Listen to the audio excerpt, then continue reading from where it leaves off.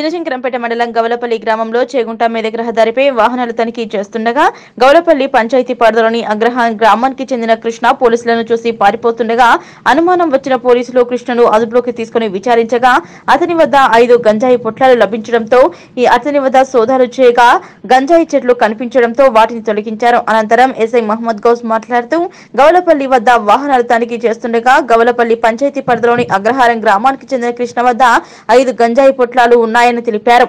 అదేవిధంగా మండలంలో గంజాయితో పాటు ప్రభుత్వ నిషేధిత గుట్కాలు కూడా ఎవరైనా అమ్మినట్లయితే వారిపై కఠిన చర్యలు తప్పవని హెచ్చరించారు. ఈ కార్యక్రమంలో S I Mohammed Ghouse training S I Bhanuchander Goud సిబ్బంది వీరన్న వెంకటేష్ గౌస్ శ్రీకాంత్ తదితరులు పాల్గొన్నారు. ఈరోజు గవలపల్లి చౌరస్తా దగ్గర మేము వెహికల్ చెకింగ్ చేస్తున్నాం. అందాజ ఐదున్నర గంటలకు ఒక వ్యక్తి అనుమానాస్పదంలో మా బండి చూసి పారిపోతుంటే అతను పట్టుకున్నాం.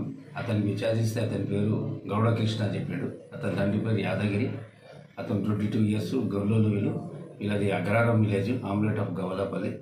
మరి అతనికి విచారణ చేస్తే అతని దగ్గర చెక్ చేస్తే ఐ- ఐదు పాకెట్లు గాంజా ఎండు గాంజా దొరికింది. అది ఫిఫ్టీ గ్రామ్స్ ఉంటుంది అందాజ.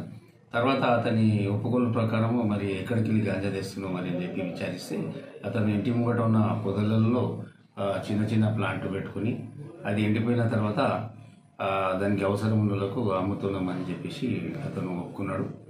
అతని ఒప్పుకోలు ప్రకారం మరి కేసు నమోదు చేసుకుని దర్యాప్తు చేస్తున్నాము. ఎవరైనా గాంజా విక్రయించినా అమ్మినా అది వాళ్ళ మీద కఠిన చర్య తీసుకుంటాం ప్రభుత్వం కూడా చాలా ఇంట్రెస్ట్ చూపెడుతుంది కాబట్టి ఎవరైనా ఇన్ఫర్మేషన్ చెప్తే వాళ్ళ ఇన్ఫర్మెంట్స్ పేరు గప్యంలో పెడతాం మరి ఎక్కువ మొత్తంలో పట్టిస్తే ఇంకా రివార్డ్స్ కూడా ఇప్పిస్తాము.